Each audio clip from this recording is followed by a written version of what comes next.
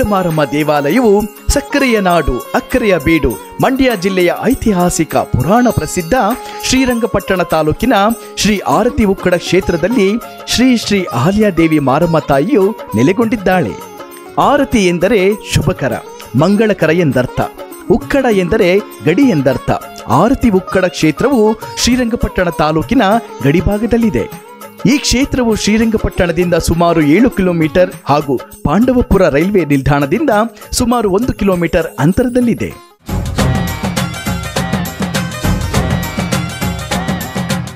ಈ ಕ್ಷೇತ್ರವು ಕುಲಕೋಟಿ ಭಕ್ತಾದಿಗಳ ಮನದಲ್ಲೂ ರಾರಾಜಿಸುತ್ತಿದೆ. ಅಹಲ್ಯ ದೇವಿಯನ್ನು ಆದಿಶಕ್ತಿ, ಉಕ್ಕಡದ ಮಾರಮ್ಮ, ಬಿಸ್ತರ ಮಾರಮ್ಮ, ಚಂಡಿ ಚಾಮುಂಡಿ, ಕರುಣಾಸಾಗರಿ, ಅಭಯಂಕರಿ ಶಾಂತ ಸ್ವರೂಪಿಣಿ, ಕಾಳಿಕಾ ಮೋಹಿನಿ, ದುಷ್ಟಿ, ದೋಷ ನಿವಾರಣಿ ಎಂದು ಕರೆಯುತ್ತಾರೆ. ಹಾಗಾದರೆ ಈ ತಾಯಿಯ ಮಹಿಮೆಯನ್ನು ಇಲ್ಲಿನ ಹಿರಿಯ ಅರ್ಚಕರಿಂದ ತಿಳಿಯೋಣ ಬನ್ನಿ. ಅಮಾವಾಸ್ಯೆ ಹುಣ್ಣಿಮೆಗಳು ಜಾಸ್ತಿ ಇಲ್ಲಿ ತಡೆಬಡಿಸೋದು ಅಂಥದ್ದು ವಿಶೇಷ. ಅವಾಗ ಜಾಸ್ತಿ ಪವರ್ಫುಲ್ ಇರ್ತದೆ ಅಂತ. ಯಾವುದೇ ಮಾಟ ಮಾಡಿಸಿದ್ರೆ ಮಾನಸಿಕವಾಗಿ, ದೈಹಿಕವಾಗಿ, ಮನಸ್ಸು ಚಂಚಲತೆಗಳಾಗಿದ್ರೆ ಭೂತ ಪೇದಾತ್ ನೋಡಿದ್ರೆ ಮಾನಸಿಕವಾಗಿ ಏನು ಮಾಡಿದ್ರು ಕೆಲಸಗಳಾಗ್ತಲ್ವಲ್ಲ ಕೊಡ್ತವಲ್ಲ ಒಂದು ತುಂಬ ಬೇಸರ ಇದ್ರೆ ಇಲ್ಲಿ ಬಂದು ಪೂಜೆ ಮಾಡಿಸ್ಕೊಂಡು ತಡೆ ಬಡಿಸ್ಕೋದ್ರೆ ಈಗ ಆಯ್ತು ಕಣಪ್ಪ, ಒಳ್ಳೇದಾಗ್ತು, ಆರೋಗ್ಯ ಸಮಸ್ಯೆ ಇದ್ರೆ ನಮಗೆ ಒಳ್ಳೇದಾಗುತ್ತೆ ಕಣಪ್ಪ, ಅನ್ಕೊಂಡು ಹೋಗ್ತಾರೆ ಇಲ್ಲಿ. ಅದೊಂದು ತುಂಬ ಒಂದು ಪ್ರಸಿದ್ಧ. ಅರಸು ರಾಜವಂಶದವರು ಬಂದು ಅವ್ರಿಗೆ ಹುಷಾರಿಲ್ಲದ ಸಂದರ್ಭದಲ್ಲಿ ಇಲ್ಲಿ ಬಂದು ನಮ್ಮ ಈ ಊರಿನ ಒಬ್ಬರು ಸಂಪರ್ಕ ಇತ್ತು ಅಲ್ಲಿಗೆ. ಬಂದಾಗ ಇಲ್ಲಿ ತಡೆಬಡಿಸ್ಬೇಕು ಇಲ್ಲಿ ಪೂಜೆ ಮಾಡಿಸೋದ್ರೆ ಒಳ್ಳೇದಾಗತ್ತೆ ಅಂದಾಗ ಬಂದು ಇಲ್ಲಿ ಅರ್ಕೆ ಮಾಡ್ಕೊಂಡು ಹೋದ್ರು ಬಂದು ಮೊದಲು, ಹಿಂಗೆ ಪೂಜೆ ಮಾಡಿಸ್ಕೊಂಡು ತಡೆಬಡಿಸ್ಕೊಂಡು ಆಮೇಲೆ ಯಾವಾಗ ಅವ್ರು ಬಂದು ಹೋದ ಸ್ವಲ್ಪ ದಿನಗಳೇ, ಅಂದರೆ ಎರಡು ಮೂರು ದಿನಗಳೊಳಗೆ ಅವ್ರ ಆರೋಗ್ಯ ಸಮಸ್ಯೆ, ಕಾಲಿನ ಸಮಸ್ಯೆ, ನೋವುಂದು ಇದರಲ್ಲಿ ಬಂದಾಗ ನಿವಾರಣೆ ಆಯಿತು. ಆಮೇಲೆ ತಿರ್ಗಾ ಬಂದು ಮತ್ತೆ ಇನ್ನೊಂದ್ಸರಿ ಪೂಜೆ ಸಮೇತ ಮುರುಳಕ್ಕಿ ಪೂಜೆ, ಸೀರೆ ಇವೆಲ್ಲ ಕೊಟ್ಟು ತಿರ್ಗಿ ಇನ್ನೊಂದ್ಸರಿ ಮತ್ತೆ ಒಂದ್ಸರಿ ಬಂದು ಪೂಜೆ ಸಲ್ಲಿಸಿದ್ರು. ಅವಾಗ ಏನಪ್ಪ ಇಲ್ಲಿ ಉಕ್ಕುಡಿಗೆ ಮಹಾರಾಜರು ಹೋಗಿದಾರಂತೆ, ಇಲ್ಲಿ ಅಷ್ಟೊಂದು ಶಕ್ತಿ ಸ್ಥಳ ಇದು. ಅನ್ಕೊಂಡು ಏನು ಮಾಡ್ತೀವಿ ಜನ ಒಬ್ಬರಿಂದ ಒಬ್ಬರಿಗೆ ಒಬ್ಬರಿಂದ ಒಬ್ಬರಿಗೆ ಇಂಥ ಸ್ಥಳಕ್ಕೆ ಹೋಗ್ಬೇಕು ನಾವು. ನಾವು ಹೋಗಿ ಅಮ್ಮನ ಹತ್ರ ಕೇಳ್ಕೊಂಡು ನಮ್ಮ ಕಷ್ಟ ಕಾರ್ಪಣ್ಯಗಳನ್ನ ನಿವಾರಣೆ ಮಾಡ್ಕೋಬೇಕು. ಅಂತ ಮಂದಿ ಒಬ್ಬರಿಂದ ಒಬ್ಬರು ಗಬ್ಬಿ ಈಗ ಜಾಸ್ತಿ ಪ್ರ ಕೀರ್ತಿಯಾಗಿ ಬೆಳೀತಾ ಇದೆ. ಇದು ಮರದ ವಿಗ್ರಹ.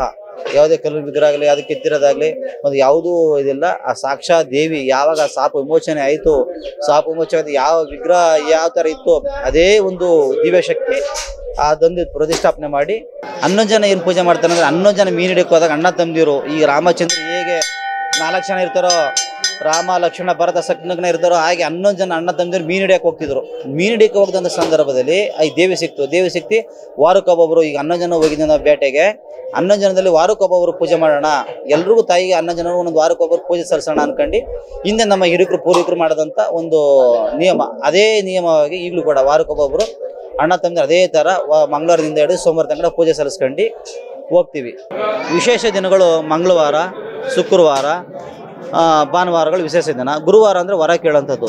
ಅವ್ರಿಗೆ ಯಾವುದೇ ಒಂದು ಕೆಲಸ ಕಾರ್ಯಗಳು ಆಗತ್ತೋ ಇಲ್ವೋ ಅಂತ ಅಂದ್ಬಿಟ್ಟು, ಆಗತ್ತೆ ಅಂದರೆ ಬಲ್ಲೆ ಕೊಡ, ಕೊಡಮ್ಮ ಹೋಗೋಣ, ಇಲ್ಲ ಆಗಲ್ಲ ಅಂತಂದ್ರೆ ಎಡದ ಕಡೆ ಕೊಡಮ್ಮ ಅಂತ ಅಂದು ವರ ಕೇಳ್ತಾರೆ ಅವರು.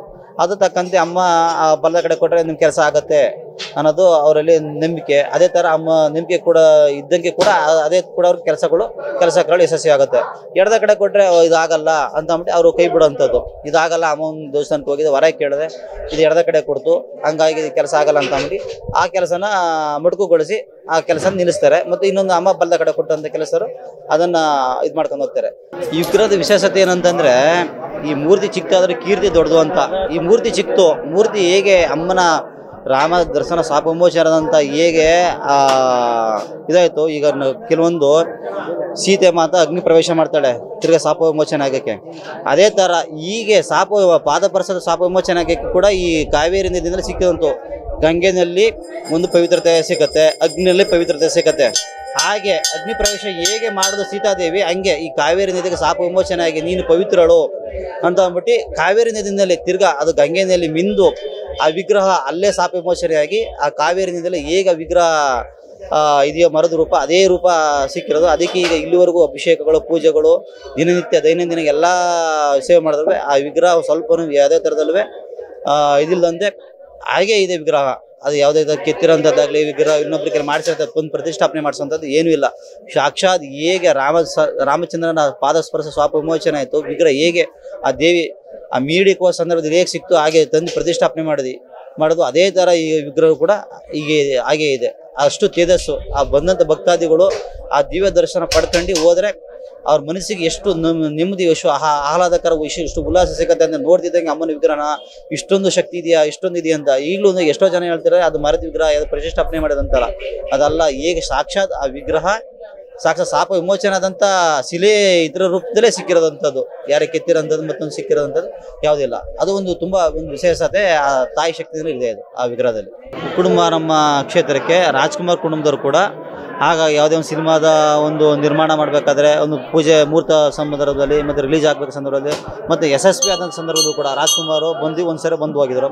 ಆದಮೇಲೆ ಭಾರತ ಭಾರತಮ್ಮರು ಕೂಡ ಆಗಾಗ ಒಂದು ಯಾವುದೇ ಒಂದು ಪೂಜೆಗೆ ಅವರು ಕೂಡ ಬಂದು ಹೋಗ್ತಿದ್ದರು ಆಮೇಲೆ ರಾಘವೇಂದ್ರ ರಾಜ್ಕುಮಾರ್ ಶಿವರಾಜ್ ಕುಮಾರ್ ಪುನೀತ್ ರಾಜ್ಕುಮಾರ್ ಕೂಡ ಒಂದು ನಾಲ್ಕೈದು ಸರಿ ಕೂಡ ಬಂದು ದರ್ಶನ ಮಾಡ್ಕೊಂಡು ತಡೆ ಹೊಡ್ಸ್ಕೊಂಡು ಪೂಜೆ ಮಾಡಿಸ್ಕೊಂಡು ಹೋಗಿದಂಥ ಒಂದು ಒಂದು ಪವಿತ್ರ ಪುಣ್ಯಕ್ಷೇತ್ರ ಅಂತ ನಾವು ಹೇಳ್ಬೋದು.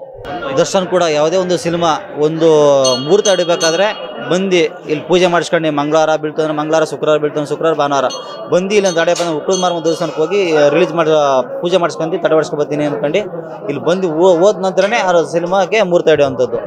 ಇಲ್ಲಿ ಬಂದು ಪೂಜೆ ಮಾಡಿಸ್ಕೊಂಡು ಹೋಗ್ತಾರೆ ತಿರ್ಗಾ ರಿಲೀಸ್ ಆಗಿ ಯಶಸ್ವಿ ರಿಲೀ ಫಿಲಮ ಮುಗಿದ ಮೇಲೆ ತಿರ್ಗಿ ರಿಲೀಸ್ ಆಗ್ತಾ ಇದೆ ಸಂದರ್ಭದಲ್ಲಿ ಕೂಡ ಇಲ್ಲಿ ಬಂದು ಪೂಜೆ ಮಾಡಿಸ್ಕೊಂಡು ತಡೆ ಹೊಡ್ಸ್ಕೊಂಡು ಹೋಗ್ತಾರೆ ಇಲ್ಲಿ. ಆಮೇಲೆ ಯಶಸ್ವಿ ಆದರೂ ಕೂಡ ನನಗೆ ಸಿನಿಮಾ ಕೂಡ ಯಶಸ್ವಿ ಆಯಿತು. ಮೂರು ಟೈಮ್ ಬಂದು ಹೋಗ್ತಾರೆ ಅವರು.